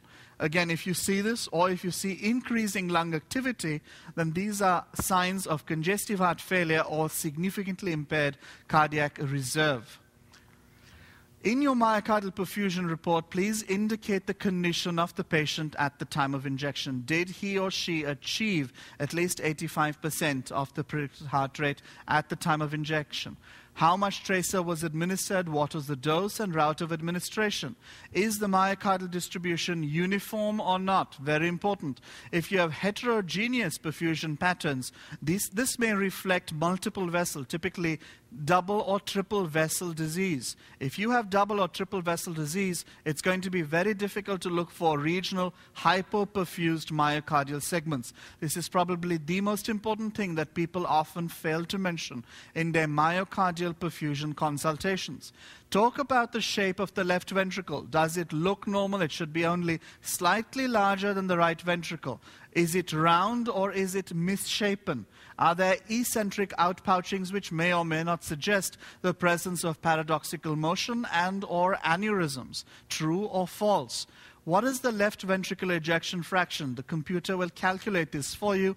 Look for areas of regional thickening of myocardium. The entire myocardium should pulsate together if you don't have ectopic beats. If you've got a normal study, you don't have significant changing between the post-stress and resting images. The key is to look for a defect, segmental hypoperfusion on your post-stress image, which demonstrates reperfusion on your resting image, which infers that there is exertional ischemia, exertion induced either by exercise stress or by chemical vasodilatation or inotropic agents. Remember, for a true lesion, you are best, most confident if you see this in at least two of three planes. However, this, this is more of a rule of thumb and not a true thing in real life. Sometimes I will see a defect that reperfuses, but with confidence, only in one plane. You should call lesions that you see with one plane only. It is very important if you are struggling to determine whether or not a lesion is coming back in one plane only, it probably is not. Again, not rocket science. If there is a bite and the bite comes back, it's a reperfusible defect, it's segmental ischemia. One of the tools we do use in order to get more of a quantitative mechanism is a qualitative bullseye analysis or polar map. This makes it very easy for cardiologists to read their own studies because they look at colors. If you see no color and the color comes back, you know that it is reperfusible ischemia. Again, you don't see significant blood flow. You don't see significant improvement in blood flow when compared with the stressed image. So you know that this is a fixed perfusion defect. The computer will actually calculate how significant this fixed defect is when compared with the rest of the volume of the left ventricle. Here, on the other hand, you've got a reversible hypoperfuse defect. You see significant defect along the inferior wall, and then you see most of it coming back, except a tiny bit at the apex, and this is a significantly, significantly reversible hypoperfuse segment, which indicates that there is significant exertional ischemia. If you compare the sensitivity and specificity of stress versus chemical studies, so exercise stress versus vasodilators or inotropic or chronotropic agents, you're actually surprised to see that the chemical study is more sensitive and more specific. At our institution, we use a combination of chemical or stress testing. Mostly we use chemical testing, and our numbers are quite equivalent. I, I strongly recommend this kind of exercise. We do this every six monthly to anybody who's just starting a nuclear cardiology program in your institution because this tells you how what the national average is, how specific and how sensitive you should be, and if you're not, then you should probably be doing things to improve your imaging and or your interpretation. A risk stratification, the risk of a cardiac event or sudden cardiac death exponentially goes up depending on whether you have no perfusion defect, a fixed perfusion defect, or a reversible perfusion defect. Remember, even if you have no perfusion defects, you still have a 1% risk of sudden cardiac death. So it's not 100% as nothing is. Uh, using your algorithm for risk stratification. Remember, if you have no risk factors for coronary artery disease, you don't need to get a coronary arteriogram if you have a high risk factor, if you have multiple risk factors and clinical symptomatology that needs workup, you don't need a myocardial perfusion study. You need to go ahead and get a coronary arteriogram anyway. It's the intermediate category that is going to come to us for myocardial perfusion imaging. How do you stratify this? If you're low intermediate, you just get a stress test with an EKG you go ahead and get a myocardial perfusion study only if this is positive. If this is negative, you do not need further workup. If you have high intermediate levels of suspicion, and again, these numbers are very specific because you are assigned a score depending upon family history, symptoms, serum chemistry, etc. So you get these specific numbers by adding up your cadenza score and then you fall into these categories. So again, to rephrase, if you're at low risk, you don't need a coronary arteriogram. If you're at high risk, you don't need a myocardial perfusion study. If you're in the intermediate category, depending on whether you're intermediate low or intermediate high, you're going to get an exercise stress test with or without a myocardial perfusion study. When you get your exercise stress test, you should also be able to analyze wall thickness of the left ventricle, wall thickness as well as wall motion. These are subtle areas which determine those segments of the left ventricle that are high risk for loss of myocardial reserve in the future. So don't just look at the perfusion pattern, look for areas of abnormal or absent wall thickening, look for areas of paradoxical or decreased or increased wall motion. This can also be graphically presented. You want to see how much of the left ventricle contracts at a given time, and the computer also segmentally breaks up this into segments which help you assign a sum stress score and look at wall thickness as well as wall motion. So, not just perfusion, but look at functional characteristics of the left ventricular wall. Another way of looking at the left ventricular function is by an independent test called the dynamic ventriculogram, which is really a blood pool test. What you're doing is you're labeling many red blood cells, autologous red blood cells, flowing them back into the patient's body and watching them as they get pumped out of the heart. This helps you determine the amount of left ventricular ejection of the fraction of red blood cells that are within it as compared to those that are going to leave it in a background of no significant activity. Normal left ventricular ejection fraction is approximately 55%. This is one of those studies which is going to be a baseline in patients who are going to undergo very cardiotoxic chemotherapy in the future, as well as follow up if you're on multiple drugs for ischemic or non ischemic cardiomyopathy. Remember, all you're ass assessing is left ventricular ejection fraction. It is difficult and quite impossible to assess right ventricular ejection fraction unless you have specific software for this and you inject autologous labeled red blood cells within the right ventricular cavity itself and make allowances for correction of left ventricular contamination. So, what you're typically doing is you're reporting left ventricular ejection fraction. Look at the volume contraction curve. You saw the normal volume contraction curve a little bit ahead. The M or the slope of that was much lower. You've got to see a valley or a dip. You do not see a dip. The slope of the left ventricular contraction curve is much lower, indicating less of a push, which is reflected by less of an ejection fraction. It's less than 55% plus minus 6. You also want to look at the beat histogram. The beat histogram should be monochromatic which means all of the left ventricle should be beating at the same time and at one time only. If it is polychromatic, which means you get different colored spikes, the software is telling us that different segments of the left ventricle are contracting at different times. This is very inefficient. You're pushing out less autologous red blood cells at different times and you're not being very efficient. So you do not want to report the right ventriculogram, you're only interested in the left ventriculogram. When you do a radionuclide ventriculogram, you want to do it at exercise as well as at stress. Stress may be with sorry, at stress as well as at rest. Stress may be chemical or using exercise. If you've got an inappropriate response to stress when compared with the resting ventriculogram, you know that you have impending compromise of left ventricular function. Again, important for ischemic and non ischemic cardiomyopathy.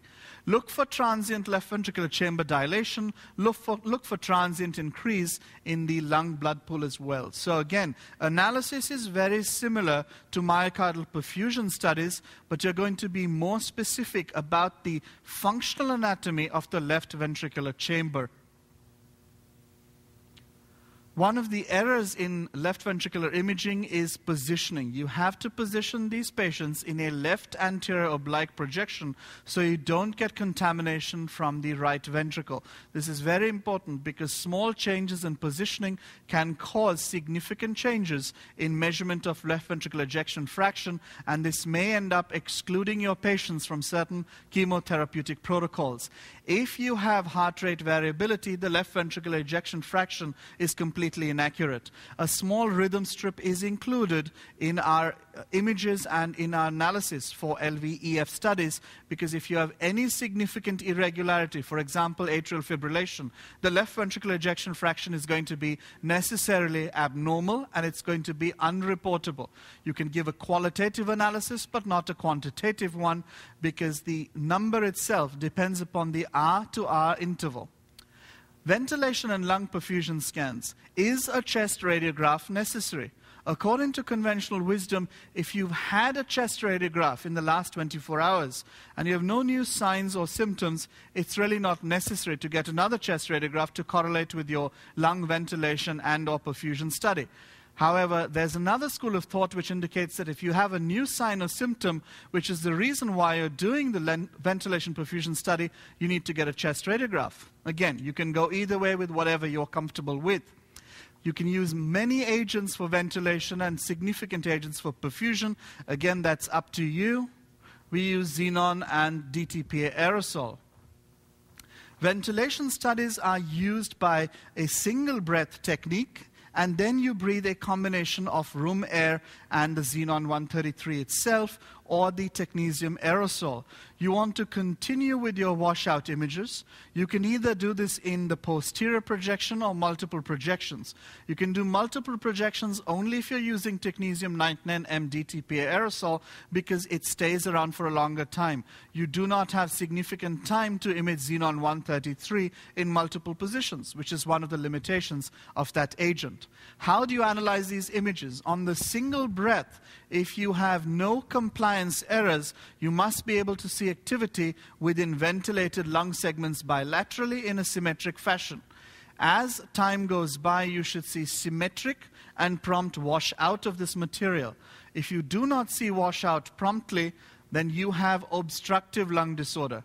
If you do not have wash in promptly, you have a restrictive lung disorder. So on your ventilation images, you're looking for symmetry, promptness of wash in and wash out. You're looking for restrictive or obstructive lung disorders. You're checking to see if this is global, symmetric, if it's asymmetric, whether it's segmental or subsegmental. Lung perfusion studies are typically done using eight projections. However, if you're doing a qualitative study, which we often do in pre surgical patients who have lung cancer, in whom we want to assess for the presence of how much reserve lung will there be after I whack off a segment, a lobe, or a lung, you want to omit the lateral images. Why is this? You're giving in your report or consultation qualitative fractions of activity in the left and right lungs divided into equal thirds. Using lateral images, you're getting signal contamination from the opposite sides. So you're going to emit the lateral images when you do qualitative studies. In an effort not to confuse too many people, we just get six images for qualitative as well as quantitative perfusion studies. How does this work? This is again a blood pool imaging agent. However, these blood pool imaging studies are tagged onto particles which are macro aggregated albumin. If you have any free pertechnetate, there's going to be signal contamination and you will see activity in the salivary glands, the thyroid glands. Anything excreted by the salivary glands is going to be in the nasopharynx as well as in the stomach and the intestines and sometimes in the kidneys. Remember that this is an artifact of contamination because of technique.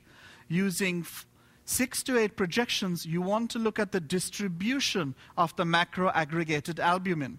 This is going to cause a physiologic elevation of pulmonary arterial thrombosis. So you are exacerbating any arterial thrombosis that exists, but at a microscopic level that is not clinically significant. You should see fairly uniform distribution of these particles within segments of both lungs. This is very sensitive, but it is not specific, which means anything that causes significant blockage of the pulmonary arteries in their first, second, or third order branches is going to show up as a defect or focal photopenia in the lung capillary bed. However, it's not specific. Anything that changes blood flow makes the study abnormal. This also includes artifacts in the flood field. This looks like a persistent defect, but if you look at your flood field, there's a defect in the photomultiplier tube mechanism. And therefore, you're being fooled into thinking that there is indeed a true defect in the pulmonary vascular bed, when in fact there is none. If you use too few particles, there is a, an artifactual defect because some of the pulmonary capillary bed is not being blocked by these MAA particles. Why? You have less particles and more capillaries, so some flow is still continuing in part of your capillary bed. So, again, very heterogeneous mottled pictures. Particles may clump the, the, syringe must be agitated, not just shaken, it must be agitated, and the injection should be in the upright position. If not, you're going to get clumping of particles, which causes a heterogeneous or mottled appearance. This again is going to confuse you into thinking that there is some degree of pulmonary arterial capillary thrombosis when in fact there is none. This is a classic example of a study done which is technically poor and then it is repeated after one week and you can see that that is normal. These hot spots are because of blood clots in the syringe. Whenever possible, we try to avoid injecting within a central line or, a venous access port. It is best to inject in the upright position. A normal perfusion study is homogeneous. You do not really appreciate any quantum mottle because you try and block as many capillaries as possible. And no matter how you turn the patient, the images look homogeneous and sharply uniform. An abnormal perfusion study is going to be a negative effect which means those areas that are blocked by you, by your macroaggregated albumin, is going to show up as a photon rich area. Those areas that are blocked by the pulmonary arterial thrombus are going to be photopenic areas, and those represent the actual pulmonary arterial thrombus. So you see a very heterogeneous pattern because you're seeing a combination of segmental and subsegmental defects. What about during pregnancy? The dose that is administered does not cause significant secretion in breast milk. It is secreted, but it is not significant enough to cause any radiation hazard to the infant. The, the risk in the child from a ventilation perfusion scan is pretty low. So, according to that, it might be of preference to do just a perfusion scan rather than a ventilation and perfusion scan or a pulmonary CT angiogram in someone who's pregnant or nursing. Uh, PIOPED criteria, these, these are absolutely archaic, and uh, I don't know why we still use them. Probably because we don't have anything better. So we're using something that is outdated, useless, and quite frankly, boring. What we've got is we divide things into the normal and high categories, which are easily understood. If it's normal, you don't have to treat these people. If it's high probability, then you probably have to treat these people or they will die. But look at the numbers 14% are normal, 13% are in the high category. Everybody else, which is the majority, falls into the low and indeterminate category. This is why we in nuclear medicine get a bad name. We say things are indeterminate or indeterminate or it's low to intermediate.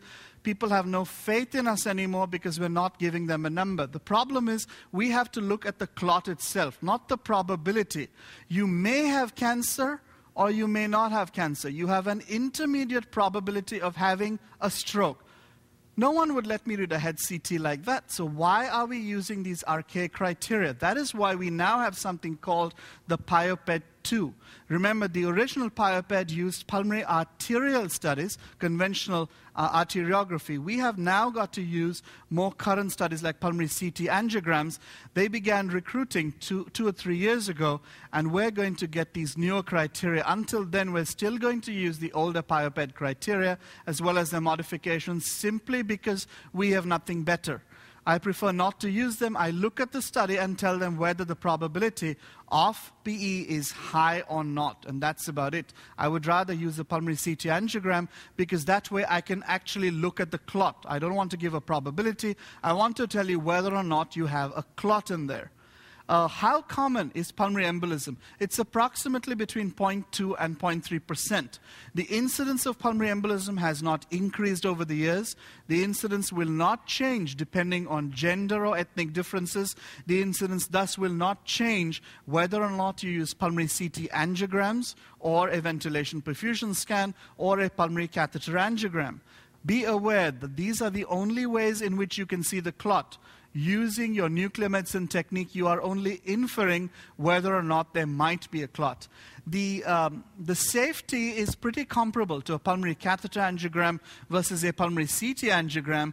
However, you're more likely to agree using a pulmonary CT angiogram because you can actually see the clot. Using a pulmonary catheter angiogram, you have to get various oblique approaches, multiple field of imaging, and therefore you are more likely to have disagreements, especially in subsegmental pulmonary arterial filling defects. Uh, the risk of having a suboptimal study is pretty equivalent when you compare a pulmonary arteriogram versus a pulmonary CT arteriogram. So currently, a pulmonary CT angiogram should be your standard of care unless there is a contraindication or you don't have a multiple row detectors CT unit.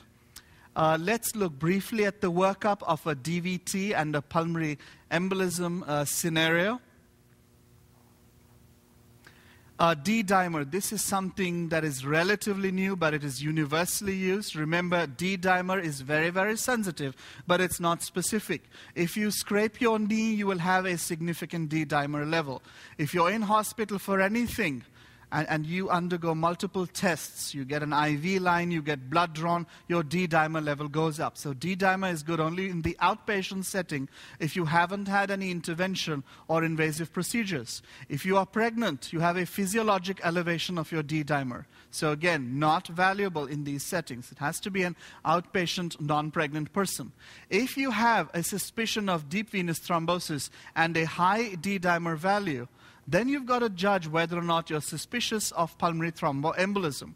Depending on your pretest probability and your D dimer level, if your pretest probability is low and your D dimer level is low, there is no need to get either a lung perfusion scan and or a pulmonary CT angiogram. It's very, very safe. Only one out of over 400 patients did have a small subsegmental pulmonary thromboembolism during follow-up in this large study. So, if you have a suspicion and you've got to evaluate for both DVTs and pulmonary uh, arterial thrombi, the quickest way of evaluating is a combination of CT angio- angiography of the pulmonary arteries and continue with a CT of the veins in the pelvis and the proximal lower extremities. If you're only looking for deep venous thrombosis, get a sonogram. If you're only looking for pulmonary thromboembolism, as we started, get a chest radiograph. Why? The chest radiograph will not rule in or rule out the presence of pulmonary embolism. Remember, the commonest finding is just an atelectatic segment. However, you're looking for hyperaeration. Why is this? If you have hyperaeration or evidence of COPD or chronic lung disease, then there is no point getting a ventilation or lung perfusion scan. You want to jump straight ahead and get a CT angiogram of the pulmonary arteries depending on your suspicion of pulmonary artery embolism. If it's low in nature, you can get an isotopic lung study. If your chest x ray is complicated, or if your suspicion is high and you want to define the anatomy, you're going to go ahead and get a, ventila- a pulmonary CT angiogram. The sensitivity of the CT scan is much higher when compared with a high probability scan. Remember, very few of your ventilation perfusion scans are actually going to be high probability in nature. Uh, it is also very good for central as well as peripheral pulmonary emboli as compared to your lung perfusion scans. So if you see your clot on your pulmonary CT angiogram, you can treat. If you don't see your clot, then you've got to have your clinical suspicion to help determine whether or not to treat these patients. So does this mean we won't see any ventilation perfusion scans in the future? Not really. We've had the pulmonary CT angiogram in existence for a long time. Many of us are trained to do them, but there has been no significant change in the relative number of ventilation perfusion scans. This is probably because we're more aware of the incidence and prevalence of pulmonary embolism in the current time. Again, lots of complicated protocols. We're not going to go through them. They're in your syllabus, but if you have a high risk factor, you want to go ahead and get a CT angiogram. If you have a low risk factor, you'd rather do a ventilation perfusion scan. If it's inconclusive, then you might want to even get a pulmonary catheter angiogram, which will be definitive in confirming or negating the presence of significant pulmonary embolism. Looking at sentinel node mapping, there are two specific indications for the node map. One is breast cancer for determining how much axillary nodal dissection should be performed, and the other is for uh, melanoma. Why can't we use PET scanning? We've told you how wonderful PET scanning is. However, PET scanning is not good enough for initial staging of axillary neoplastic burden. You can have normal sized lymph nodes with malignancy. So clearly, you can't use clinical examination, CT, MR, or sonography. If you have higher sensitivity, then you're not going to be very specific using PET. However, PET is good for looking at the overall staging for local, regional, and distant metastases, not just in the axilla, because axillary nodal metastases are micrometastases. Remember, the resolution of PET is approximately between 8 and 10 millimeters. That is not a microscopic metastatic burden. When you do a whole body PET scan looking for local, regional, distant metastases, you may incidentally pick up axillary metastases, but this is not the reason why you're doing the PET scan. Axillary nodal evaluation has to be done by the gold standard, which is axillary nodal sampling. Here comes the concept of the sentinel lymph node. The sentinel lymph node is that first lymph node where any material from the quadrant that is affected, whether it's neoplastic, infectious, or inflammatory, will head before it heads to the axilla. Which means, by extrapolation, if you sample that lymph node, serial sampling, ultra thin sections, if you don't have tumor in the sentinel lymph node, the axilla is presumed to be free of tumor. You've got to find the sentinel lymph node by injecting the tumor or the tumor bed with small particles that can then be phagocytosed. PET does not work in this way. PET is going to look for hypermetabolic foci, not for the passage of cells. Once you know how many axillary lymph nodes are affected and whether or not they're affected, you will then remove locally affected lymph nodes, as many as possible, depending on where we are going to be localized. This prevents recurrence, this improves staging, and it improves planning of adjuvant therapy for uh, breast cancer. Remember, the sentinel lymph node map is valid only if your sentinel lymph node is in the axilla. Often it may be in the ipsilateral or contralateral internal mammary region. This doesn't matter because in these cases, the surgeon will still do a modified uh, dissection of the axillary lymph nodes on the size in which the tumor is. Very unusually, the sentinel lymph nodes may be in the contralateral axilla. We still don't know what the effect of this is and how this can change surgery. So you inject the tumor bed or you inject the area around the tumor if no excisional biopsy has been performed. You acquire images and you want to see the first lymph node that shows uptake of these radiocolloidal particles. This lymph node is going to be removed at the time of surgery. Again, you're going to use an intraoperative gamma probe to see where the counts are coming from. This node is then going to be sectioned immediately, serial sections, which are looked at under the microscope. If this lymph node has tumor, then lymph nodes in that axilla are going to be presumed to have tumor and they will be removed. If this lymph node does not have tumor, then you do not have to remove extensive axillary lymph nodes at that time. You inject blue dye in the area of the uh, surgery, that is the excisional bed. You massage the area. You also use intraoperative gamma probing. A combination of blue dye injection, your radiocolloid injection, as well as intraoperative gamma probing improves your sensitivity and specificity very, very tremendously. What you're identifying is the time to appear. Remember, it's the first lymph node that appears that is going to be the sentinel lymph node. It's not the brightest or the one with the most counts, it's the first one that appears. You may have more than one sentinel lymph node, up to three at a time. You may have more than one channel that goes to the sentinel lymph node, and you want to evaluate the distribution. It is important surgically only if it is in the ipsilateral or same sided axilla, not on the opposite side or in the internal maxillary lymph node. Uh, we typically get three views in order to identify the nodes as well as the, the channels that are going into that location. The area over the skin is marked with a Q-tip, so the surgeon knows exactly where to place the gamma probe in order to speed up the procedure, and this reduces intraoperative time as well as anesthetic risk. The projection actually mimics the surgical positions, and therefore you have to get at least three views in order for the surgeon to correlate with how surgery is going to be performed. The skin marking on the surface of the skin directly overlying the, the area of the very hot sentinel lymph node in the surgical position is going to be the most important thing determining the site of injection of the, um, the blue dye, which is vital blue dye within the operating theater itself. This is a very sensitive method if you use a reliable technique and you use this every single time. We're going to take a two minute break and then continue with things under the diaphragm.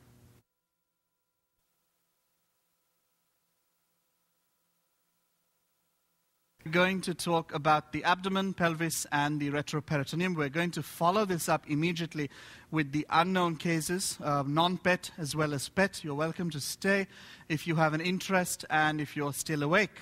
Uh, in the abdomen and pelvis, rapid studies quick studies, very specific studies. Each of them has a CPT code. All the CPT codes are listed in an appendix in your syllabus. We're going to start with the radiocolloid study. Remember, a colloid is a large particle. It is a macromolecule. Anything that takes up colloid is going to show up on a radiocolloid study. It's going to be part of the reticuloendothelial system. Why are we doing this? Typically to look for a hyperplastic focal nodule in the liver or for a splenunculus. Are there any better ways of doing this? Yes. So why are we doing this? Because it has been requested. Sometimes it's faster to do than to argue. Again, when you inject colloidal particles, these are rapidly eaten up by RE cells within the liver, the spleen, and the marrow which means if you have an area of marrow packing disorder, if you have replacement of liver or splenic parenchyma, you're going to see a photopenic region. This is a sensitive test, but not a very specific test. When exactly would I like to use this? Oftentimes you get focal fatty metamorphosis within the liver. These patients may be at risk for cancer, or they may have a primary tumor, and you're not exactly sure whether or not this is focal fatty change or whether this is indeed a tumor in the liver liver that needs further workup. Rather than rushing to get a CT or an MRI study, or God forbid, a PET scan, I'm going to get the cheapest study, which is a radiocolloid study. Marrow uptake is always present. All liver lesions except the hyperplastic focal nodule are photopenic, but remember the hyperplastic focal nodule is really a devil. It has variable appearances. It can be isopenic, it can be isophoton rich, it can be very photon rich, or it can be photopenic. The only use in the year 2004 for the radiocolloid study should be to define fatty change or fatty sparing when the patient is at high risk for having a primary or secondary liver tumor. Again, the hyperplastic focal nodule can look like anything. This is just one of those cases where it is very large and it has significant uptake because it has a larger relative concentration of reticuloendothelial cells, uh, cells than the rest of the liver. Again, the CT appearance is very, very non-specific. On MR as well, the appearance is non-specific. It has prompt enhancement in the hepatic arterial dominant phase. It has a central scar that does not promptly enhance. It has rapid washout. On long TR images, it is not ultra bright, which means it is not characteristic of a hemangioma. So if I have a non-cystic, non-hemangiomatous lesion with a central scar, I can do one of two things. I can do a colloidal study. If it is photopenic, I need to needle it. If it is very, very bright, I can leave it alone because it's a hyperplastic focal nodule. Enough about the radiocolloid study. Liverpool studies. Why people do this? It's a mystery to me. We're trying to diagnose hemangiomas. Perhaps your MRI is down.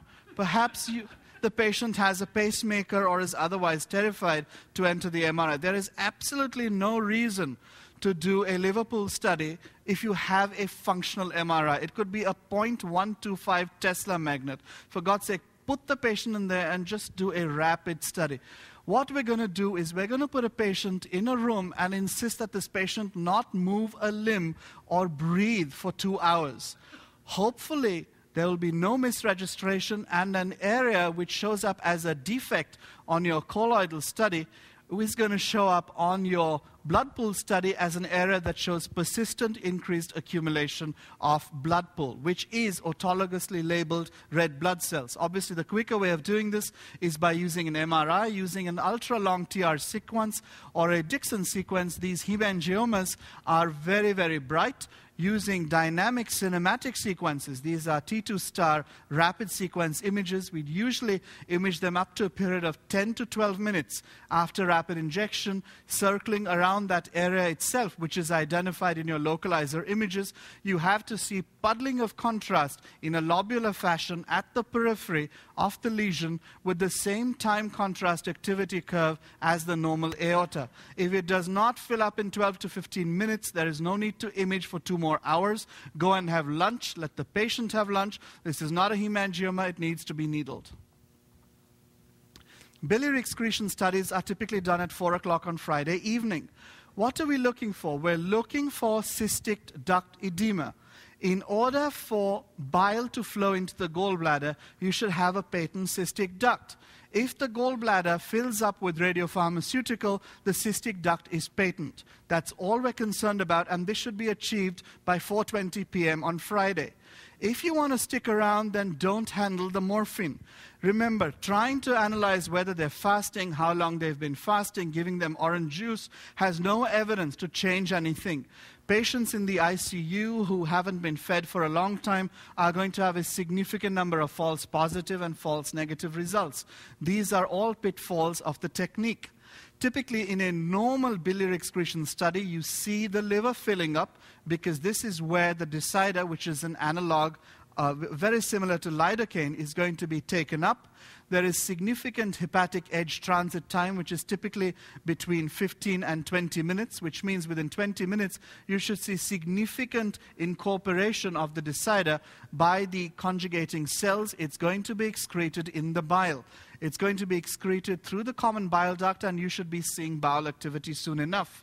If you have a patent cystic duct, there's going to be reflux of radiopharmaceutical into the gallbladder. If you're not sure whether or not that's a gallbladder, get a lateral projection. The gallbladder is typically an anterior structure, though often it may be ectopically located biliary to bowel transit is sometimes, however, seen in, in greater than 60 minutes. So there may be delayed hepatic edge transit time. This is a variation of normal. You've got to correlate with the liver function test to determine whether or not you're going to see activity at that time. Typically, if you do not see gallbladder activity at 60 minutes, again, I'm quite impatient, I only wait for 20 minutes. Then you want to speed up the study and you want to augment it. How can you do this? You can either get a delayed image, which is hardly augmentation, and you've got to stay till Friday night, or you can give them a touch of morphine, or if it's Thursday, you can bring them back on Friday morning. Typically, morphine augmentation is the best way of speeding up the study, and it's going to give you better visualization. If you see the gallbladder, you have ruled out cholecystitis. If you do not see the gallbladder, you are not sure whether or not there's cholecystitis. Now you have an abdominal surgeon breathing down your neck. Are you going to wait for a few hours? No. You are going to administer morphine. Remember, the dose of morphine is very small, it's homeopathic. This is not going to affect any pain control. You want to give morphine, but immediately, and this is very important, immediately after you give morphine, because chances are 20 to 60 minutes have passed since you gave your initial dose of DISIDA. You want to give a touch more of DISIDA, between 1 and 2 millicuries of DISIDA, which can be now incorporated by the liver immediately after you give the morphine, and then you image for 30 additional minutes. By this time, you should see opacification of the gallbladder. If you do not see gallbladder, remember this is approximately 20 minutes. I see activity within the small bowel. I do not see activity within the liver. If I only gave morphine and I did not give additional DISIDA, there's really not very much to enter the gallbladder. This is very, very logical but poorly understood. I've given morphine and I've given additional DISIDA. This is going to be incorporated within the liver and it should be excreted into the gallbladder. What the morphine does is it contracts the terminus or the sphincter of Oddi at the end of the common bile duct. Therefore, there is stasis within the common bile duct and it encourages or augments reflux into the gallbladder. So remember, filling of the gallbladder rules out acute cholecystitis. Just because the gallbladder does not fill does not necessarily mean you have acute cholecystitis. There is a host of things that can do this. So only if it fills are you home free. If it does not fill, you could have acute cholecystitis, especially if there is a history of stones or there's a sonographic Murphy sign or other clinical indicators. If you have cellular dysfunction or if you have biliary atresia, typically newborns, you're not going to get conjugation and adequate excretion of radiopharmaceutical to enter the biliary system and or the gallbladder. So it's not a very good study in those patients. Post-surgically, we might be doing the study to analyze for the presence of a bile leak Post surgically, there may be free infradiaphragmatic fluid. This could just be a seroma or hematoma. You're not sure, but there's deteriorating function, fever, and or abdominal pain. You do it exactly the way you do a native biliary excretion study, and you see a peritoneographic effect. You see that the radiopharmaceutical has been taken up by the liver. It's being excreted not in the biliary system, but through a leak into the peritoneum. It's outlining loops of small bowel. Looks exactly like a ventricular tube study. Sometimes you may be fooled because duodenal activity may mimic the gallbladder. It could be longitudinal, and it is, remember, also an anterior structure. In these cases, the trick is orange juice. Give them orange juice, have this propel anteriorly, and you see that there is no visualization of the gallbladder. Sometimes biliary leaks may be mimicked by reflux of radiotracer into the stomach. Again, the trick is very simple. Orange juice, give them something that accelerates activity from the stomach into the small bowel. If it does not push it away, then you know that there is significant residual excreted radiopharmaceutical in the left upper quadrant in the proper clinical setting with free infradiaphragmatic fluid. That is uh, a biliary leak.